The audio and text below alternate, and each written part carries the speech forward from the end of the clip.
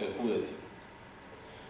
Drama वाहिद वो फ़न है जिसके ज़रिए मखसूस शख्स के नज़रियात उसकी हालात ज़िंदगी और उसके हर गोशे को स्टेज के ज़रिए पेश करके नाजरीन के सामने एक पैगाम पहुँचाना होता है, जिसे नाजरीन का जहन बहुत तेज़ी से कबूल करता है और ड्रामे के ज़रिए जो पैगाम नाजरीन तक पहुँचता है, वो बहुत मौसर और देर बाद साबित होता है। अगर ड्रामा अच्छा है तो उसके किरदार नाजरीन के दिलों में अबदी जगह बना लेते हैं और एक अनमिट अनमिट नकोश छोड़ जाते हैं। गालिब शरूर वो इल्मी अदबी इदारा है जो न सिर्फ़ कागज़ी कागज़ी बाजी गिरी पेश करता है, बल्कि मुतद अदबी और सकाफती प्रोग्राम भी मनद करता रहता है। इसका एक अहम हिस्सा हम सब ड्रामा ग्रुप है। इस ग्रुप का ख़ास मकसद गालिब की शख्सियत और गालिब की रोज़मर्रा ज़िंदगी को उसके अहद के अहवाल को ड्राइंग अंदाज में पेश करना है। हम सब ड्रामा ग्रुप का क़्याम पाँच अगस्त उन्नीस सौ चौहत्तर को विलिंगटन क्रिस्टन नई दिल्ली में हम सब ड्रामा ग्रुप की चेयरपर्सन मोहतरमा बेगम आबदा अहमद साहिबा की सरपरस्ती में हुआ। आपकी सरपरस्ती में मुतद ड्रामे पेश किए गए, जिनमें 18 फरवरी उन्नीस सौ उनहत्तर को मेरे बाद, जिसको हबीब तनवीर साहब ने पेश किया था। 20 फरवरी उन्नीस सौ उनहत्तर को गालिब कौन है पेश किया गया? तमाशा और तमाशाई उन्नीस सौ चौहत्तर को पेश किया गया। इसी ऑडिटोरियम में ये सारे ड्रामे पेश किए गए हैं। गालिब की दिल्ली उन्नीस सौ छिहत्तर में पेश किया गया और गालिब की दिल्ली दो ड्रामे हुए थे, जिसमें एक म्यूजिकल प्ले हुआ था और एक प्लेन ड्रामा हुआ था। और ये जो माता सुंदरी रोड है ऑडिटोरियम उस वक्त नहीं बन पाया था तो इस माता सुंदरी रोड पे जो रोड है, उसके ऊपर उसको मुनद किया, स्टेज किया गया था। उसके बाद अनारकली, जिसमें पंकज कपूर, नीलम अजीम ने किरदार अदा किए थे, और जो बहुत ही कामयाब ड्रामा रहा, और जिसको एक ज़माने तक जो है अखबार और लोगों की ज़बानों पर हो रहा। ज़िंदा दिल रूह 1979 में स्टेज किया गया। मेरा भाई, मेरा दोस्त उन्नीस सौ इक्यासी में पेश किया गया। गालिब की वापसी उन्नीस सौ सतानवे में पहला शो हुआ। डॉक्टर बी एम शाह ने उसको डायरेक्ट किया था। ए आर कारदार ने उस ड्रामे को तहरीर किया था। गालिब की वापसी की एक खासियत ये रही कि ये हिंदुस्तान के मुतद शहरों में इसके तीस शो हुए और गालिब इस ग्रुप के इसमें नौ शो हुए उसके बाद 2017 में बजमदाग जिसको तहरीर किया था प्रोफेसर इबन कमर साहब ने और सईद आलम साहब ने उसको डायरेक्ट किया था। इसके अलावा 117 ड्रामे गालिब इंस्टीट्यूट में पेश किए गए हैं। कल मैंने बताया था कि 100 ड्रामे 100 से ज़्यादा पेश किए गए हैं, लेकिन आज मैंने जब उसको चेक किया तो 117 ड्रामे पेश किए गए हैं। ये आज एक ड्रामा है। इस वक्त सब ड्रामा ग्रुप की जो चेयरपर्सन है, वो डॉक्टर रक्षंदा जदीद साहिबा हैं। उनकी सरपरस्ती में इस सिंफ ने बहुत तरक्की की है। उन्होंने ड्रामों के अलावा किस्सा गोई नावल के ऊपर उन्होंने जो है फ़न नावल के ऊपर बहुत सारे जो है, प्ले वो कराए हैं स्टेज शो कराए हैं उन्होंने। उसके अलावा जो है एक हमने जो अहम शख्सियात हैं, जो उर्दू ड्रामे से जुड़ी हुई हैं, उन पे हमने एक पूरी सीरीज़ की थी पिछले साल, मुलाकात एक फ़नकार के नाम से, जो बहुत कामयाब रही।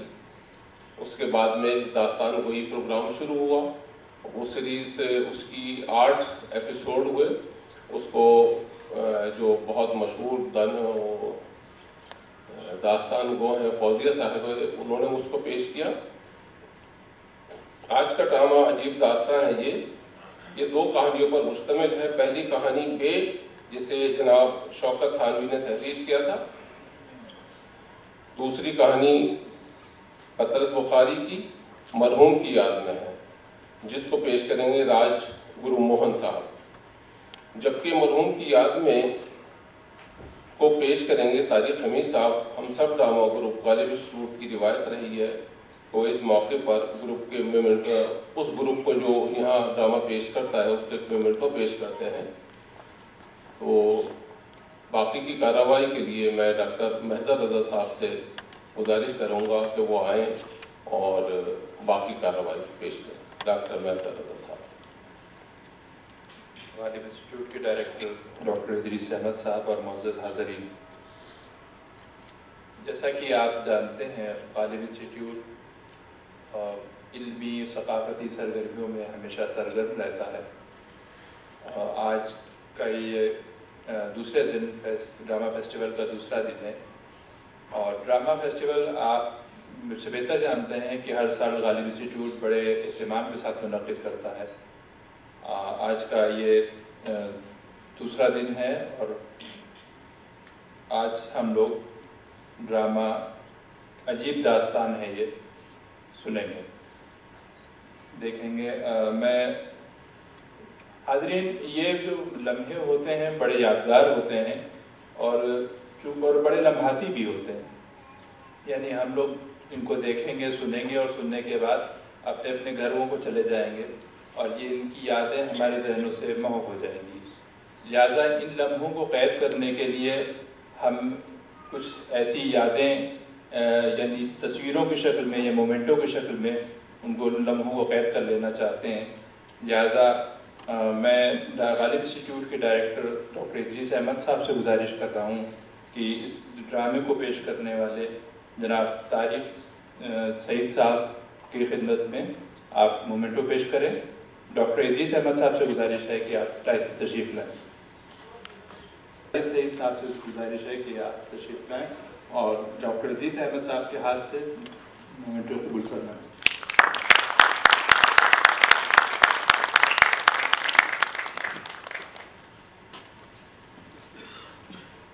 अब इसके बाद ड्रामा शुरू होने जा रहा है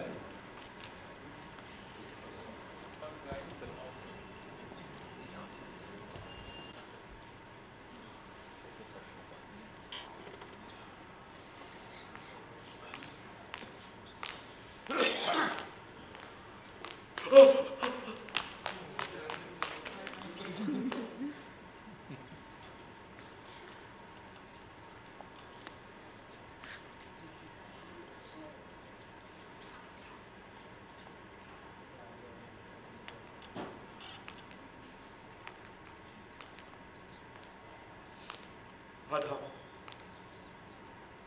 आधा आधा आधा अब मैं क्या कहूँ उन ज्योतिषी, पंडित सुयश त्रिपाठी जी को, जिन्होंने मेरा हाथ देखकर ये बताया था कि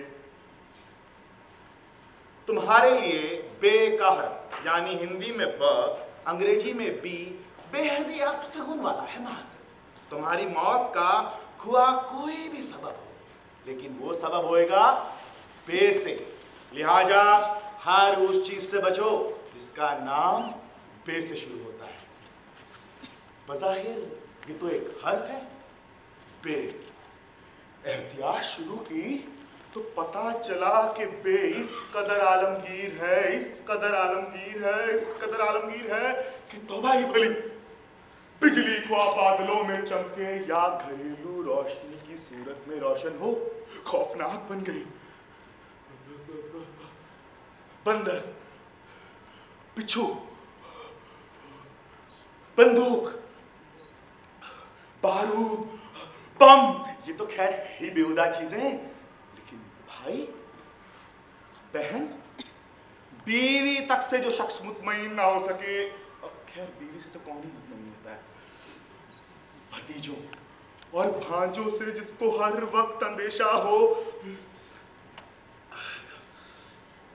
बर्फ़ी जैसी मिठाई ना खा सके और तो और गर्मियों में बर्फ़ से परहेज करे।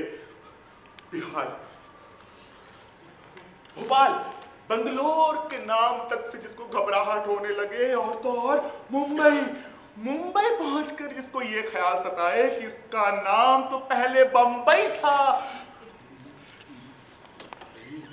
साइकिल देखकर जिसका खून खुश्क हो जाया करे जो शख्स सोते सोते सोते सोते बिस्तर से उछलकर खुर्री चारपाई पर लेटने को तरजीह, यानी कि प्रेफरेंस दे बदरुल हसन जैसे दोस्त, बुखारी जैसे करम फरमा से उलझन हो।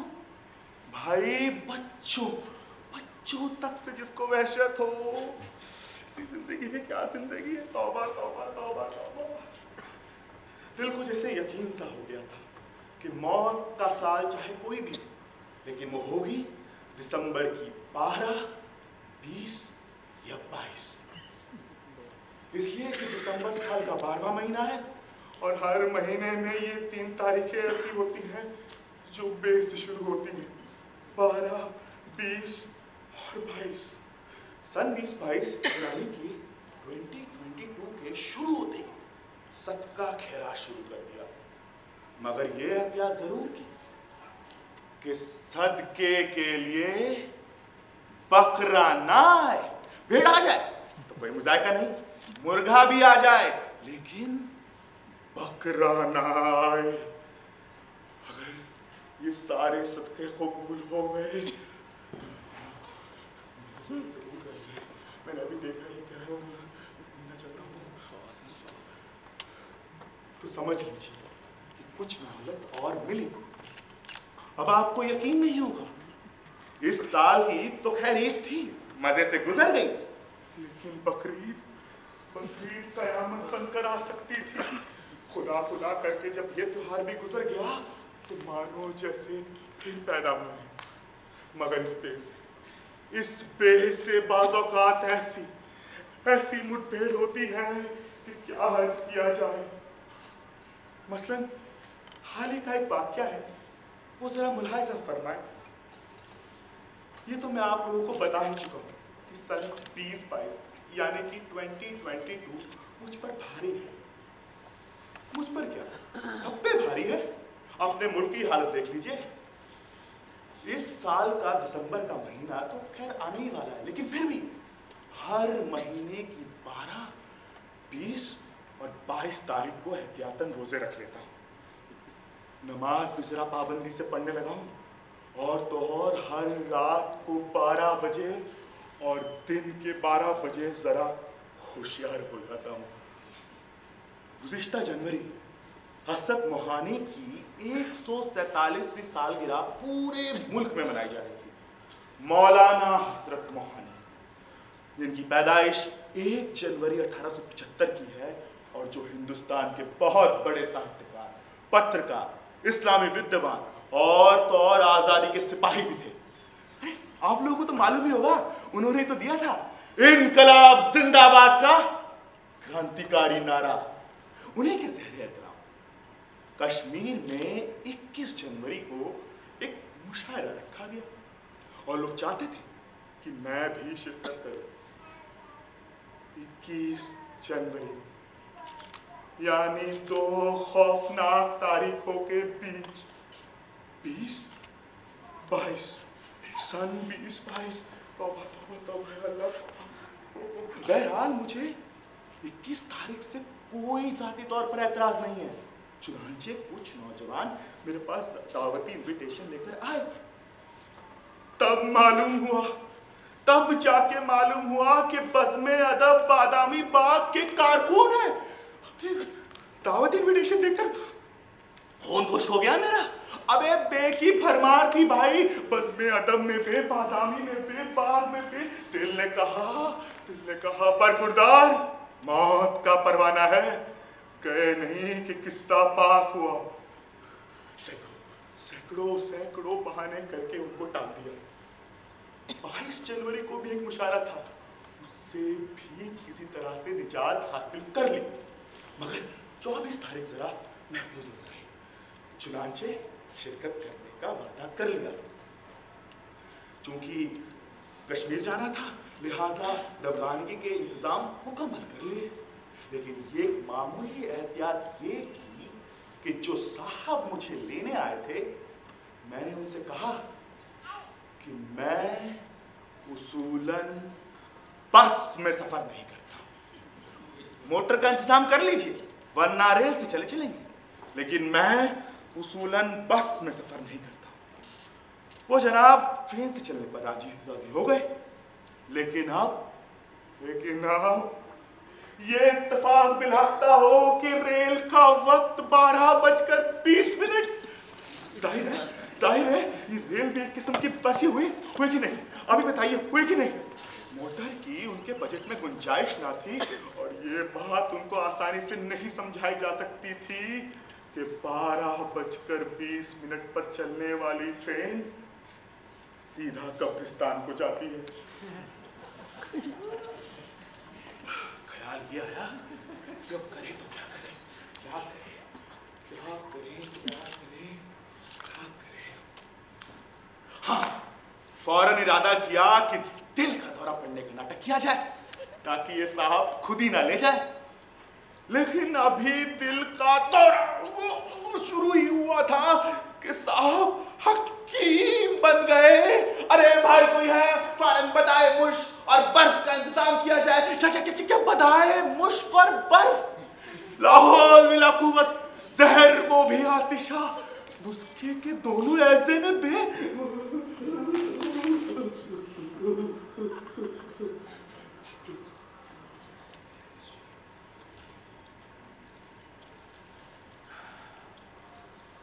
फ़ौरन दौरे को मुलतवी करना पड़ा।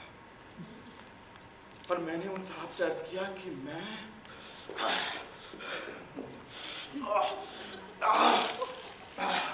अब ठीक हो गया वो जनाब माकूल निकले। टाइम टेबल निकाल कर कहने लगे, अगली गाड़ी दो बजकर पंद्रह मिनट पर जाती है, हुजूर। ठीक है। तो उस गाड़ी से रवाना हो गए। लेकिन अब जब ट्रेन चल दी तो वो तो वो ट्रेजेडी होती है, वो ट्रेजेडी होती है कि खुदा की पनाह। अब तक तो कुछ रस्मी तकल्लुफात की वजह से, कुछ दिल के दौरे की वजह से उम हज़रत से तफसीली गुफ्तगू ना हो पाई थी। लेकिन आप जब ट्रेन में आराम से बैठे हैं तो मैंने उन हज़रत से पूछा माफ़ कीजिएगा, मैंने अब तक आपसे ये नहीं पूछा कि आपकी तारीफ़ क्या है। वो खी से निकाल कर कहने लगे, तारीफ़ तो उस खुदा की जिसने दोनों जहाँ बनाए, वैसे बंदे को बशीर बेग कहते हैं। एकदम जैसे करंट सा लग गया मुझे? बशीर और फिर बेग? सफ़र में एक छोड़ दो बे सात सात है। यहाँ ये एहतियात कि बिस्तर। बैग बक्सा तक साथ ना लाया था। क्या मालूम था कि बिस्तर और बैग के बजाय बशीर बेग मिल जाएँगे।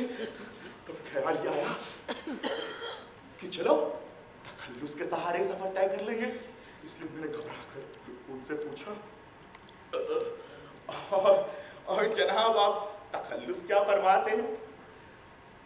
बिस्मिल कहते हैं खाकसार को जी, जहाँ खतरे की जंजीर खींच लो, यानी बदतमीजी बेलागता होके, तखल्लुस तक आपको बे के अलावा कोई और ना मिला, बेवकूफ़ कहेगा, दिल गवाही दे रहा था, ये सफ़र ज़रूर मेरा आखिरी सफ़र होगा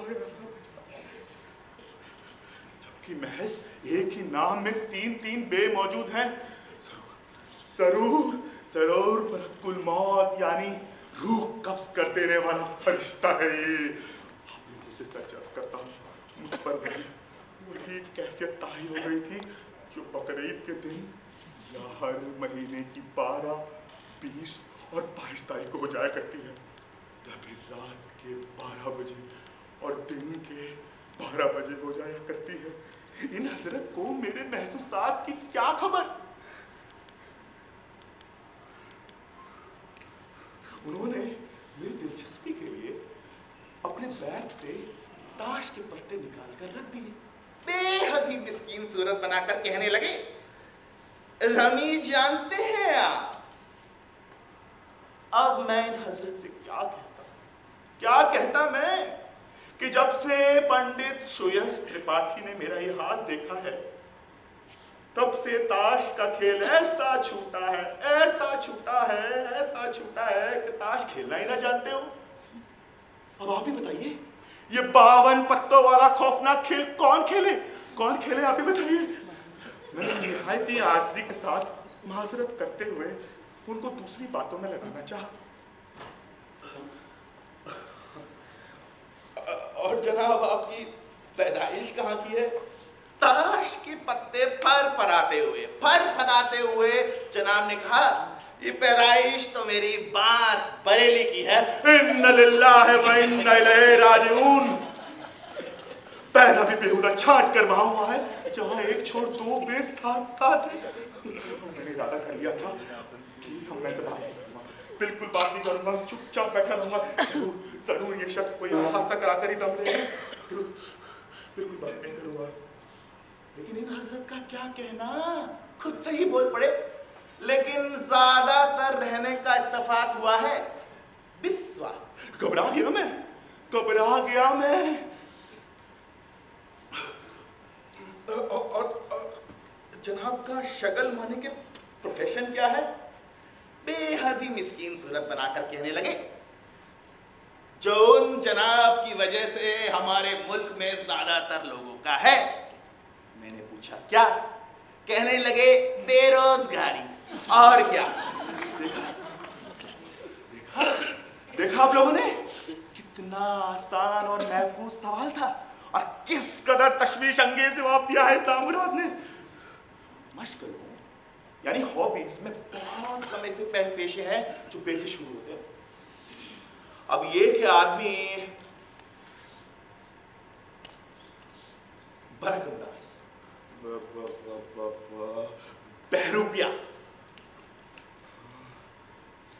बंदर वाला। आप भी कुछ बताइए। बंदूकची। बिसाती। या फिर बैरिस्टर ना हो तो बे से पेशा निकाल कर बताना आसान काम नहीं है। अब तो ये पूछना भी खतरे से खाली ना था कि जनाब और क्या क्या शौक फरमाते हैं। फ़र्ज़ कर लीजिए। फ़र्ज़ कर लीजिए। कह देंगे कि कि कि। बैंड बजाने का शौक फरमाता हूँ। तो, तो, तो, तो, तो, तो, तो क्या कर लूँगा मैं? क्या कर लूँगा मैं? अब मैंने इरादा कर लिया था। अब मैंने इरादा कर लिया था कि लाख कुछ कहे। लाख कुछ पूछे? मैं।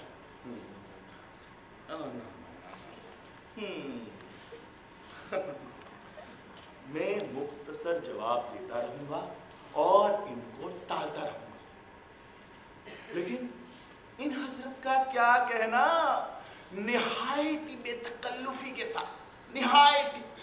मेरी ही सीट पर आकर मुझसे कहने लगे बेनियाजी हद से गुजरी। बेनियाजी हद से गुजरी। बंदा परवर कब तलक हम कहेंगे हाले दिल, और आप फरमाएँगे, क्या? देखा देखा आप लोगों ने, देखा देखा आप लोगों ने। गालिब का भी वही शेर छाट कर मारा है जो पे से शुरू होता है। जैसे इस शख्स ने मेरी चिड़ मुकर्र कर ली हो दिल में आया कि एक जोरदार चाटा रसीद करूँ इस हराम खोर के कान के नीचे।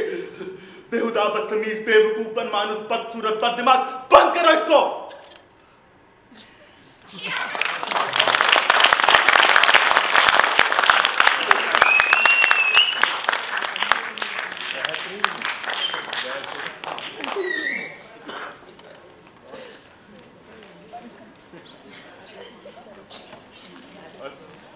हाँ जी तारीख भी बीस ही है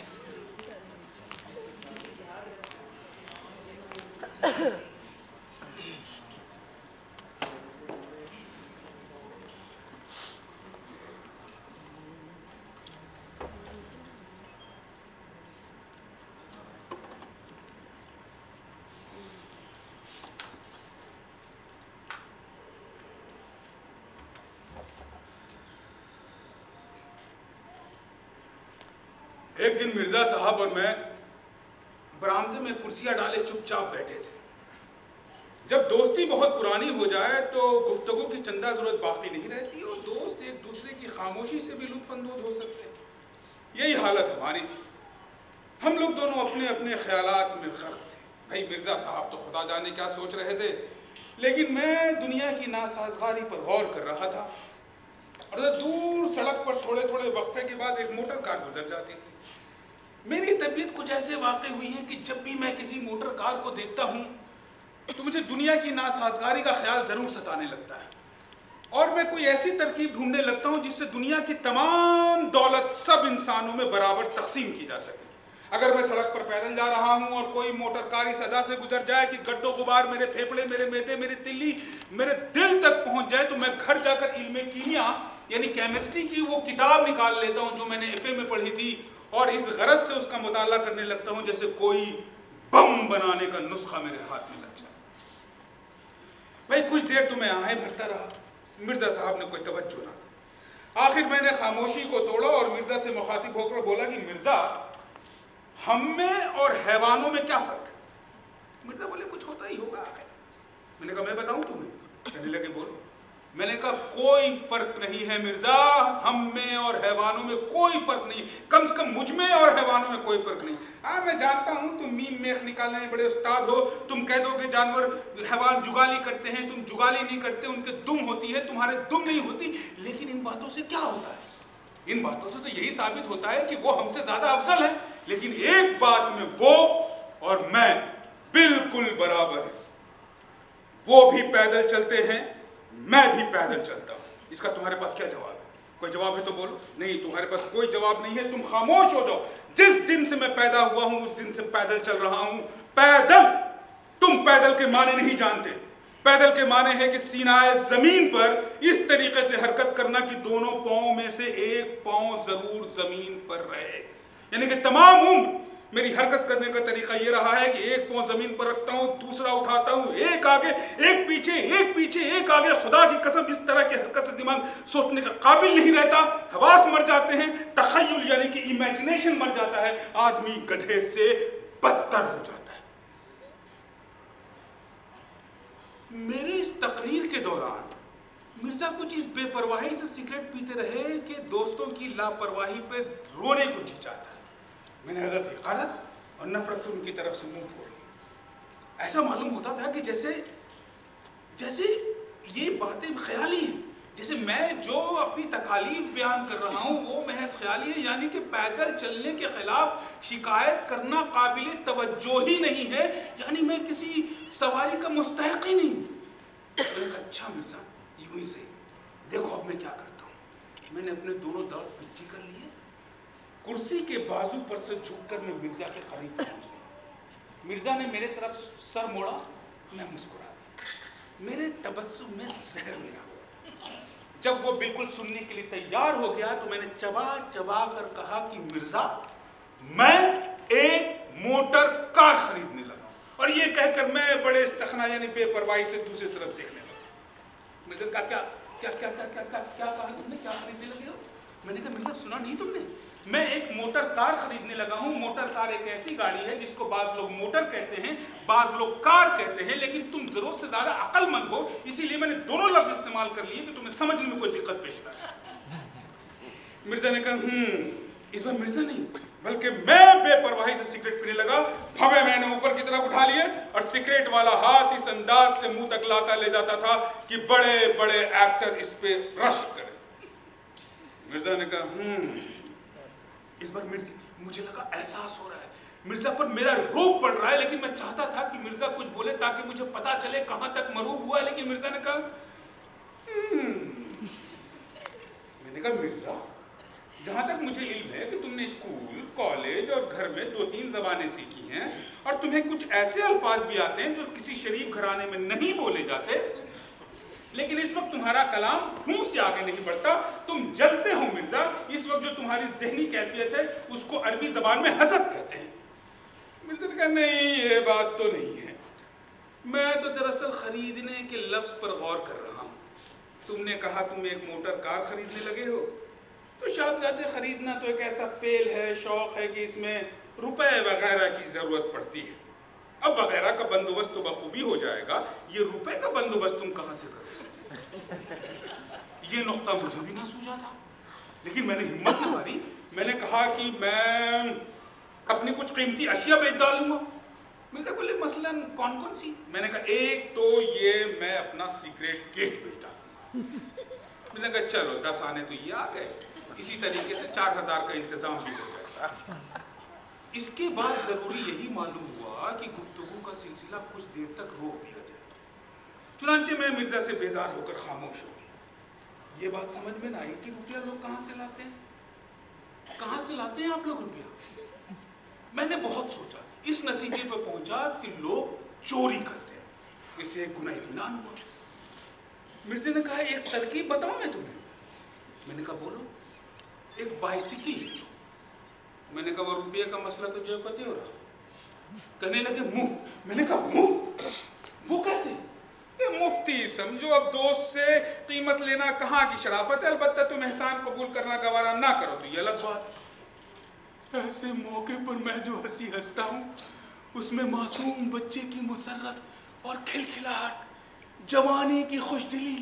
उबलते हुए फवारों की मौसीकी और बुलबुलों का नगमा सब एक साथ मिले होते हैं। चुनाचे, मैं ये हँसी हंसा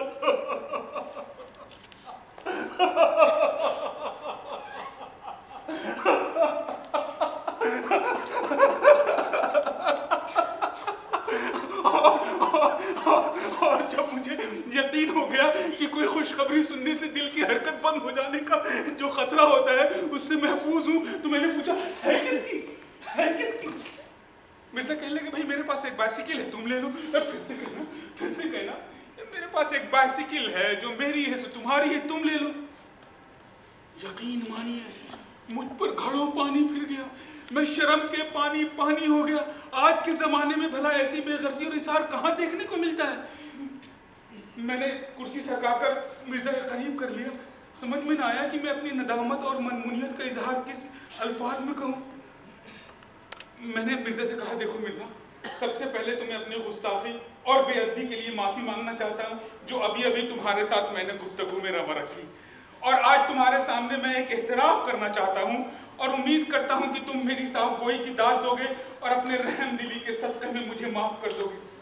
आज से पहले मैं तुम्हें एक अजब कमीना खुदगर और अयार इंसान समझता था देखो नाराज़ मत होना, इंसान से गलती हो जाती है, लेकिन आज तुमने जो अपनी शराफत और दोस्त परवरी का सबूत दिया है और मुझ पर साबित कर दिया है कि मैं कितना काबिल नफरत तंग ख्याल और हकीर शख्स मुझे माफ़ कर दो मुझे माफ़ कर दो, मेरे आँसू निकला करीब था कि मिर्ज़ा के हाथ को बोसा देता और अपने आंसुओं को छुपाने के लिए उसके सर में, उसकी गोद में अपना सर रख देता, लेकिन मिर्ज़ा ने कहा, भाई वाह इसमें मेरी फयाजी क्या हुई? मेरे पास एक बाइसिकल है जैसे मैं सवार हुआ वैसे तुम सवार हुए। लेकिन मिर्ज़ा मैं मुफ़्त ना लूँगा। ये, ये मुझसे हरगिज ना होगा। बस इसी बात का डर था। तुम हसास इतने हो कि किसी का एहसान लेना गवारा ही नहीं करते। हालाँकि खुदा गवाह है कि इसमें एहसान की कोई बात नहीं है। कुछ भी हो मिर्ज़ा तुम मुझे उसकी कीमत बता दो। भाई कीमत का ज़िक्र करके तुम तो मुझे कांटों में घसीटते हो। अब जिस कीमत में मैंने ली थी, वो तो खैर बहुत ज़्यादा थी। अब तो वो उतने की रही भी नहीं। तुम्हें कितने में ली थी? मैंने पौने दो सौ रुपए में ली थी, लेकिन उस वक्त बाइसिकलों का रिवाज जरा कम था, इसीलिए कीमतें भी बहुत ज़्यादा थी। तो क्या बहुत पुरानी है? नहीं, ऐसी पुरानी भी क्या होता है? मेरा लड़का इस पे कॉलेज आया जाया करता था, अभी वो कॉलेज छोड़े हुए, उसे दो साल भी नहीं हुए। हाँ लेकिन आजकल की बाइसिकलों से जरा मुख्तलिफ़ है। आजकल की तो बाइसिकलें टीम की बनती हैं, जिन्हें सस्ती समझकर कॉलेज के सर फिरे लौंडे खरीद लेते हैं। भाई, पुराने बाइसिकलों के ढांचे जरा मज़बूत हुआ करते थे। लेकिन मिर्ज़ा, मैं पौने दो सौ रुपये कहाँ से लाऊँगा? मेरे पास इतने रुपए कहाँ से मैं तो इसकी आधी कीमत भी नहीं दे सकता। अब भाई, मैं कीमत थोड़ी ही मांग रहा हूँ तुमसे पूरी। अव्वल तो कीमत लेने ही नहीं चाहता, लेकिन नहीं मिर्ज़ा, देखो, कीमत तो तुम्हें लेनी पड़ेगी। मैं एक काम करता हूँ, मैं तुम्हारे जेब में कुछ रुपए डाल देता हूँ, तुम घर जाकर गिन लेना। अगर तुम्हें मंजूर हो तो बाइसिकल भिजवा देना, वरना रुपए वापस कर देना। अब यहाँ बैठ के तुमसे सौदा चुकाऊं, ये तो दुकानदारों की सी बात मालूम होती है। भाई, जैसी तुम्हारी मर्ज़ी। मैं तो अब भी कहूँगा कि तुम कीमत वीमत जाने दो, लेकिन मैं जानता हूँ तुम मानोगे नहीं। मैं उठकर कमरे में गया। मैंने सोचा, इस्तेमाल शुदा चीज़ की आमतौर से लोग आधी कीमत देते हैं। मिर्ज़ा से कहा कि मैं आधी कीमत भी नहीं दे सकता तो वो उसने एतराज़ तो नहीं किया, वो तो यही कहता रहा कि मुफ़्त ले लो। लेकिन मुफ़्त कैसे लूँ? एक बाइसिकल है, एक सवारी है, घोड़ों, टांगों और मोटरों के जुमरे में शुमार होती है। बक्स खोला तो कुल छियालीस रुपए। अब छियालीस रुपए तो ठीक रकम नहीं, पैंतालीस या पचास हो फिर भी बात हो। अब पचास तो हो नहीं सकते।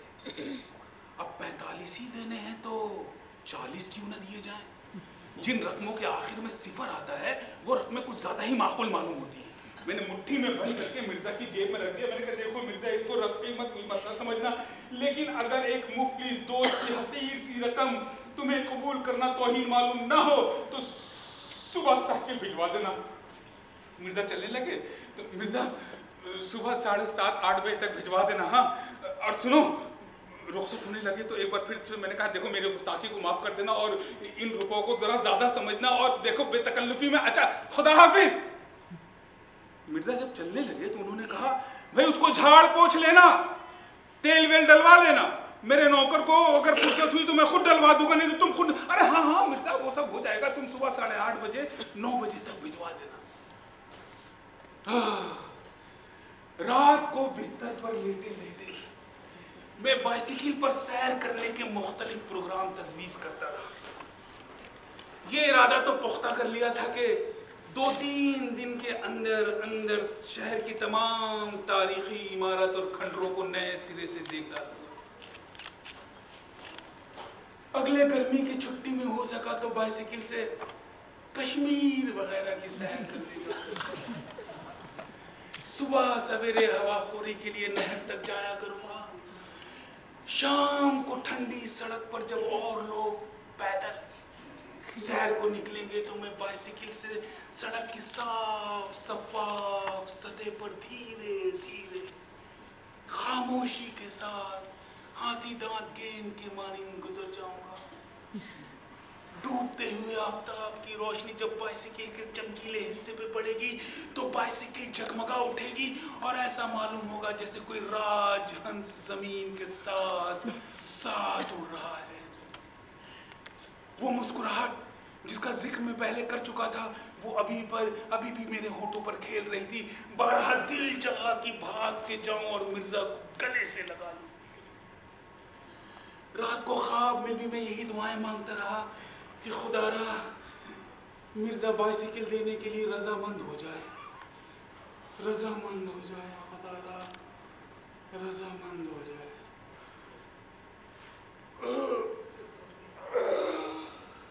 सुबह उठा तो नौकर ने खुशखबरी सुनाई। हुजूर वो बाइसिकल आ गई है। मैंने इतनी सवेरे? अजीब वो तो रात में ही आ गई थी। आप सो गए थे तो जगाना मुनासिब ना समझा और मिर्ज़ा साहब का आदमी ये ढिबरिया, यानी कि पेच कसने का औज़ार दे दिया है। मैं हैरान तो हुआ कि मिर्ज़ा ने बाइसिकल भिजवाने में इतनी जल्दबाजी क्यों की? लेकिन इस नतीजे पर पहुँचा कि आदमी काफ़ी शरीफ और ध्यानतदार है। रुपए रख लिए थे तो बाइसिकल क्यों रोक रखता? मैंने कहा अच्छा सुनो, ये औज़ार यही छोड़ जाओ और बाइसिकल को खूब अच्छी तरीके से झाड़ो। हम्म? और मोड़ पे जो बाइसिकलों वाला बैठता है, वहाँ से जाके बाइसिकल में डालने वाला तेल ले आओ। और अबे, भागा कहाँ जा रहा है? हम तुमसे ज़रूरी बात कर रहे हैं, तुम भागा जा रहा है। उससे तेल की एक कुप्पी भी लाना और जहाँ जहाँ तेल देने की जगह है, वहाँ वहाँ तेल दे देना और बाइसिकल बाहर निकाल के रखो, हम कपड़े पहन कर आते हैं और हम सैर को जा रहे हैं। और सुनो, कपड़े से बाइसिकल को ज़ोर ज़ोर से मत रगड़ना, उसका पालिश घिस जाता है। जल्दी जल्दी चाय पी। खाने में चल चमेली बाग में मैंने कपड़े पहने औज़ार को जेब में रखा, कमरे से बाहर निकला, बरामदे में। आया तो एक अजीब गरीब चीज़ पे नज़र पड़ी। समझ में आया कि ये क्या चीज़ है। मैंने नौकर से दरियाफ्त किया, क्यों भी ये क्या चीज़ है? हुजूर, ये बाइसिकल है। मैंने कहा, बाइसिकल? किसकी बाइसिकल? तो मिर्ज़ा साहब ने भिजवाई आपके लिए। और मिर्ज़ा साहब ने रात को जो बाइसिकल भेजी थी, वो कहाँ है? जी, यही तो है, हुजूर। क्या बनता है? मिर्ज़ा साहब ने जो रात को बाइसिकल भेजी थी, वो यही है? जी हाँ हुजूर। अच्छा। और फिर मैं उसे देखने लगा। इसे साफ़ क्यों नहीं किया? हुजूर, दो, तीन बार साफ़ कर चुका हूँ। तो ये मैली क्यों है? इसका जवाब नौकर ने देना मुनासिब नहीं समझा। तेल लाया? हाँ हुजूर, लाया। दिया? हुजूर तेल देने का जो सुराख है वो तो मिलता ही नहीं। क्या वजह? जी, मैलों ढेरों में जंग लगा हुआ है, सुराख कहीं दब दबा गया है। रफ्ता रफ्ता। मैं उस चीज़ के करीब पहुँचा जिसको मेरा नौकर बाइसिकल बता रहा था। उसके कुछ पुर्जे को देखकर ये तो मालूम हो गया कि ये बाइसिकल है। लेकिन इसे देखकर साफ़ ज़ाहिर होता था कि बुल रेहट और चरखा की इजादात, यानी इन्वेंशन से पहले की बनी पहिए को घुमा घुमा कर, घुमा घुमा कर वो सुराख तलाश किया, जिसमें किसी जमाने में तेल दिया जाता था, लेकिन अब उसमें से आमदो रफ्त का सिलसिला बंद हो चुका है। चुनाचे नौकर ने कहा, हुजूर, तेल तो सब इधर उधर गिर जाता है, बीच में तो जाता ही नहीं। मैंने कहा अच्छा ऊपर ही ऊपर ही डाल दो, ये भी मुफीद होता है। आखिरकार बाइसिकल पर सवार हुआ। पहले ही पहुँच चलाया था कि ऐसा मालूम हुआ जैसे कोई मुर्दा हड्डियाँ चिटका चिटका कर अपनी मर्ज़ी के खिलाफ ज़िंदा हो रहा घर से निकलते ही उतराव थी। तो बाइसिकल खुद बखुद चलने लगी, लेकिन इस रफ्तार से कि जैसे तार कोल ज़मीन पर बहता है। और इसके तमाम पुर्जों से अलग अलग आवाज़ें बरामद शुरू होने लगी, जिसके अलग अलग गिरोह थे, गैंग्स थे। चो किस्म की आवाज़ गद्दी और पिछले पहिए से आती थी। घड़ घड़ घड़ घड़ की आवाज़ मटगाट से थी।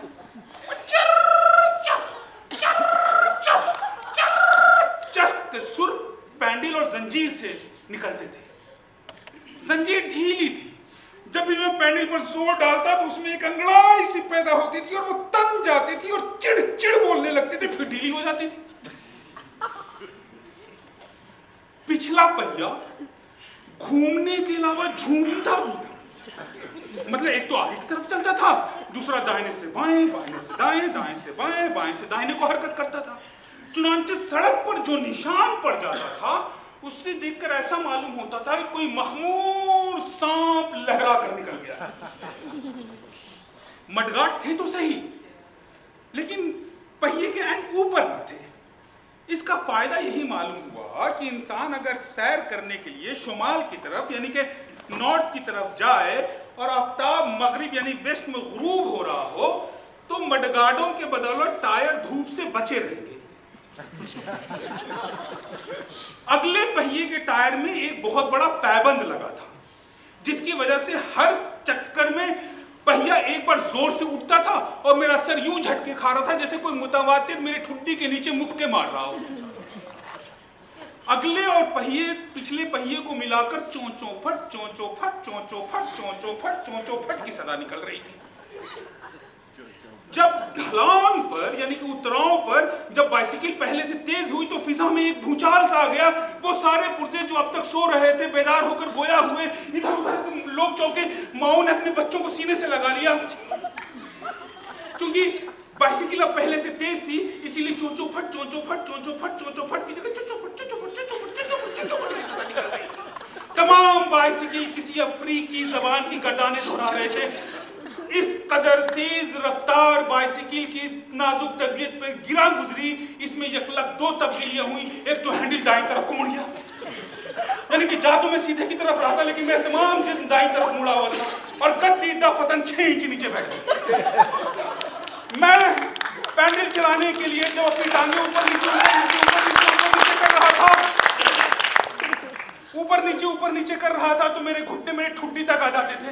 कमर तोड़ियों के बाहर निकली हुई थी और अगले पहिए के अटखेलियों की वजह से मेरा सर यूँ झटके खा रहा गद्दी का नीचा हो जाना यजद, तकलीफ़ दे साबित हुआ तो मैंने सोचा कि इसको ठीक कर लूँ, चुनाचे मैंने बाइसिकल को ठहरा लिया। बाइसिकल के ठहर जाने से यकलख्त दुनिया में जैसे खामोशी छा गई। ऐसा मालूम होता था जैसे मैं रेलवे स्टेशन से निकल कर बाहर आया। फिर मैंने जेब से औज़ार निकाला। कुछ मैंने गद्दी को ठीक किया, कुछ मैंने हैंडल ठीक किया और दोबारा सवार हुआ। अब की दस कदम भी ना गया होगा कि ये लख्त हैंडल नीचा हो गया, इतना नीचा कि गद्दी फुट भर मेरा तमाम जिस्म आगे की तरफ़ झुका हुआ था। तमाम बोझ मेरे दोनों हाथों पर थे जो हैंडल पर रखे हुए थे। और सर बराबर यूँ झटके खा रहे थे। आप मेरी हालत को तस्वूर करें तो सामने से मैं ऐसा दिखाई दे रहा था, जैसे कोई औरत आटा गूंद रही है। मुझे इस मुशाबहत सिमिलैरिटी का अंदाज़ा बहुत तेज था, इसीलिए मेरे माथे पर पसीना आ गया। और मैं दाएँ बाएँ लोगों को कन्खियों से देखता जाता था। वैसे तो मील भर दूर से ही लोग मुझे मुड़ मुड़ के मुड़ मुड़ के देखते थे, लेकिन इनमें से किसी के लिए भी मेरी मुसीबत, जियाफत तबी का बायस, यानी उनके लिए इंटरटेनमेंट के अलावा कुछ नहीं था। हैंडल तो नीचा हो ही गया था। अब कुछ देर के बाद गद्दी भी नीची हो गई और मैं ज़मीन के करीब पहुँच गया। एक एक लड़के ने कहा, ये देखो, ये आदमी पता नहीं क्या कर रहा है। जैसे उस बदतमीज के नज़दीक मैं कोई करतब दिखा रहा था। फिर मैंने हैंडल ठीक किया, गद्दी ठीक की और दोबारा सवार हुआ। लेकिन इसमें से कोई ना कोई पहले नीचा हो जाता। वो लम्हा, जिसके दौरान मेरे हाथ, मेरा जिस्म एक ही बुलंदी पर वाक़ हो, बहुत कम थे। और फिर मैं यही सोचता रहता कि क्या हैंडल बैठेगी, कि गद्दी। हैंडल, की गद्दी। हैंडल, की गद्दी। चुनांचे नीडर होके ना बैठता था। यहाँ तक कि अपनी तशरीफ़ को गद्दी से दो इंच ऊपर ही रखता था, लेकिन फिर हैंडल पर इतना ज़ोर पड़ता था कि वो नीचा हो जाता था। दो मील गुजर गए। बाइसिकल की उठक बैठक ने एक बाकायदगी इख्तियार कर ली। तो मैंने सोचा कि इसको किसी मिस्त्री से पेच कसवा लेने चाहिए। चुनांचे मैं बाइसिकल को एक दुकान पर ले गया। बाइसिकल की खड़ल खड़ल खड़ल खड़ल से दुकान पर जितने लोग काम कर रहे थे, सब मेरी तरफ़ देखने लगे। लेकिन मैंने जी कड़ा करके कहा, जरा इसकी मरम्मत कर दीजिए। एक मिस्त्री जिसके हाथ में सलाख थी, उसने बड़ी बेदर्दी के साथ बाइसिकल के मुख्तलिफ़ हिस्सों पर ठोक बजा कर देखा, जैसे उसने बहुत तेज़ी से अंदाज़ा लगा लिया है। लेकिन उसने फिर कहा किस किस चीज़ की मरम्मत कराइएगा? मैंने कहा, बड़े गुस्ताख हो तुम। देखते नहीं, सिर्फ़ हैंडल और गद्दी को ऊँचा करके कसना है और क्या? अच्छा मडगाट भी ठीक ना कर दूँ? अच्छा कर दो। बाकी चीज़ भी ठीक करा ले, हैं? तो अच्छा होगा। मैंने कहा अच्छा कर दो भाई, कर दो कर दो। ऐसे थोड़ी होता है। दस पंद्रह दिन का काम है, आप इसे यही छोड़ दीजिए। और पैसे कितने लोगे? मडगार्ड? जंजीर, पहिया, हैंडल, गद्दी। जी, तीस चालीस रुपए लगेंगे। बस जी, बस। जितना मैंने कहा है, उतना कर दो और मेरे मामलात में दखल मत दो। थोड़ी देर के बाद बाइसिकल में गद्दी और हैंडल ठीक करके कस दी गई। जब मैं चलने लगा तो उसने कहा, अजी, मैंने कस तो दिए हैं, लेकिन पेज सारे घिसे हुए हैं, थोड़ी देर में फिर ढीले हो जाएँगे। मैंने कहा, बदतमीज कहीं का? दस आने तुमने मुफ़्त में लिए हैं। अजी भाई साहब बाइसिकल भी तो आपको मुफ़्त में मिली होगी। ये आपके दोस्त मिर्ज़ा साहब की है ना? अरे लल्लू, देखो ये वही बाइसिकल है जिसे पिछले साल मिर्ज़ा साहब बेचने के लिए लाए थे। भाई सदियाँ गुजर गई, लेकिन इसकी खता माफ़ होने में नहीं आती। मैंने कहा, वाह, अभी मिर्ज़ा साहब के लड़के इस पे कॉलेज आया जाया करते थे, और कॉलेज छोड़े हुए भी दो साल भी नहीं हुआ है। वो बात तो ठीक है, हुजूर। लेकिन जब मिर्ज़ा साहब कॉलेज में पढ़ते थे तो उनके पास भी तो यही बाइसिकल थी। ये सुनकर मेरी तबीयत मुर्दा सी हो गई। मैं बाइसिकल को पैदल लेके आहिस्ता आहिस्ता चलने लगा, लेकिन पैदल चलना भी इसको लेके मुश्किल था, क्योंकि इसको चलाने में ऐसे ऐसे पट्टों पर ज़ोर पड़ता था कि आम बाइसिकलों को चलाने के इस्तेमाल में नहीं आते, इसीलिए कमर, कंधा और गर्दन में रह रह कर दर्द हो रहा था जो नाकाबिले बर्दाश्त था।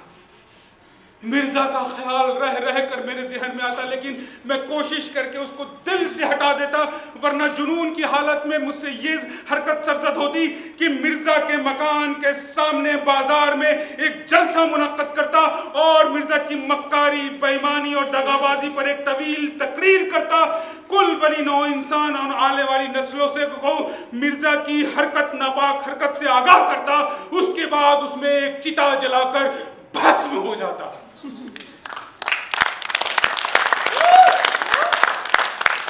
लेकिन मैंने सोचा कि इसको औने पौने बेचकर जो भी वसूल हो, उसी से सब्र शुक्र करूँ।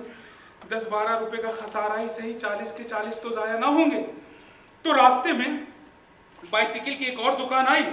जब दुकानदार बढ़कर आया तो मेरे मुँह को जैसे कुफल ताला लग गया। उम्र भर किसी चीज़ को बेचने की नौबत ना आई थी। मुझे तो ये भी नहीं मालूम था कि ऐसे मौके पर क्या कहते हैं।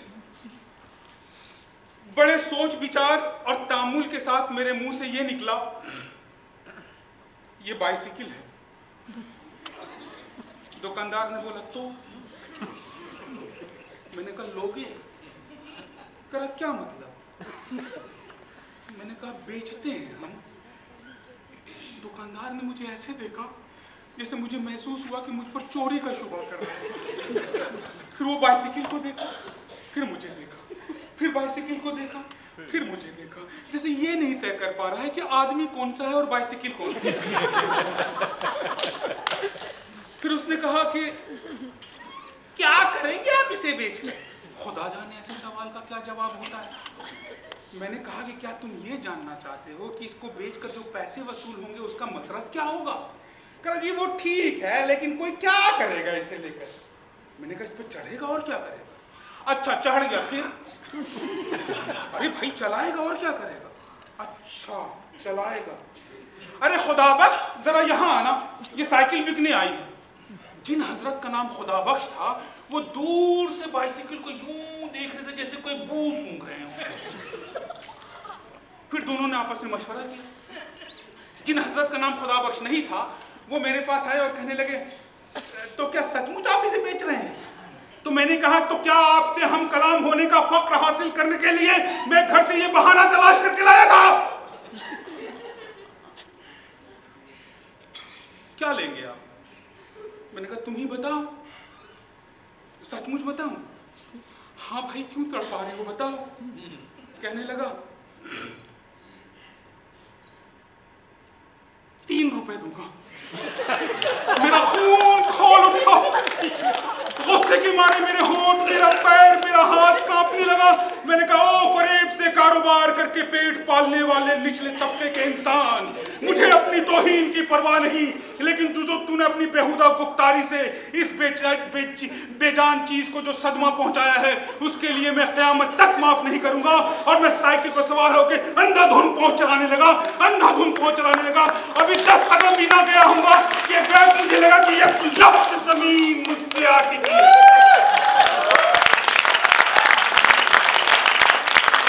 आसमान मेरे सर से निकलकर मेरे टांगों के बीच में से गुजर गया है, आसपास की बिल्डिंगों ने जगह बदल ली।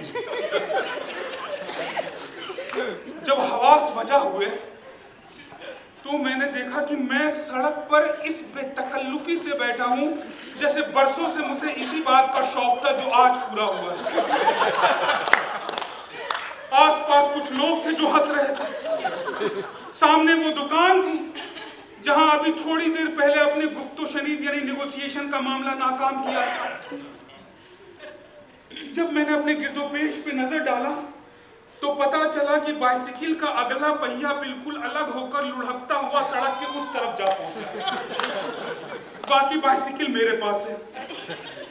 मैंने अपने आप को संभाला। जो पहिया अलग हो गया था, उसको मैंने एक हाथ में लिया दूसरा मांदा साइकिल दूसरे हाथ में और मैं चल पड़ा। ये एक इजतरारी हरकत यानी कंपल्सिव एक्शन था, वरना वो बाइसिकल मुझे इतनी हरगिज अज़ीज़ न थी कि इस हालत में उसे साथ साथ लिए फिरता। जब मैं ये सब चल पड़ा तो मैंने अपने आप से पूछा कि ये तुम क्या कर रहे हो? कहाँ जा रहे हो? ये दो पहिए लेके कहाँ जा रहे हो? तुम्हारा इरादा क्या है? सब सवालों का बस एक ही जवाब आया कि बस चलते जाओ। लोग तुमको देख रहे हैं, चलते जाओ। जो लोग हंस रहे हैं, उन्हें हंसने दो। इस तरह के बेहुदा लोग हर कौम में पाए जाते हैं। महज क्या हुआ है? एक हादसा हुआ है। बस दाएँ बाएँ मत देखो, सर ऊँचा रखो और चलते जाओ। चलते जाओ चलते जाओ। लोगों के नाशाइस्ता कलामात भी सुनाई दे रहे थे। एक साहब ने कहा, बस हज़रत, गुस्सा फूक दीजिए। दूसरे ने कहा, बेहया बाइसिकल, घर जाकर मज़ा चखाऊँगा। एक साहब अपने लखते जिगर को साथ लिए जा रहे थे। उन्होंने कहा, देखो बेटा, ये सर्कस की बाइसिकल है, इसके दोनों पहिए अलग अलग होते हैं। लेकिन मैं चलता गया। मैं चलता गया। यहाँ तक के आबादी से दूर निकल आया। अब मेरी रफ्तार में एक अजीमत पाई जाती थी मेरा दिल जो घंटों से कश्मकश में मुक्तला था, पेचोताप खा रहा था, अब बहुत हल्का हो गया था। चलते चलते चलते चलते हत्या के मैं एक दरिया तक पहुँच गया। दरिया के पुल पर से चढ़कर मैंने दोनों पहियों को दरिया में इस बेपरवाही से फेंक दिया, जैसे कोई खत लेटर बक्स में डालता है। वापस शहर की तरफ़ रवाना हुआ। सबसे पहले मैं मिर्ज़ा के घर गया। मिर्ज़ा ने कहा, अंदर आ जाओ। मैंने कहा सर आप बाहर तशरीफ़ लाए। आप जैसे खुदा रसीदा बुज़ुर्ग के घर वज़ू किए बगैर कैसे दाखिल हो सकते मिर्ज़ा साहब बाहर तशरीफ़ लाए। तो मैंने उनकी खिदमत में वो औज़ार पेश किए, जिसे उन्होंने बाइसिकल के साथ मुफ्ती इनायत फरमाया। मैंने कहा, मिर्ज़ा साहब अब आप इससे शौक फरमाया कीजिए। मैं अब इससे बेनियाज हो चुका घर आकर मैंने इल्म कीमिया यानी केमिस्ट्री की उसी किताब का मुताला शुरू किया, जो मैंने एफ़ ए में पढ़ी थी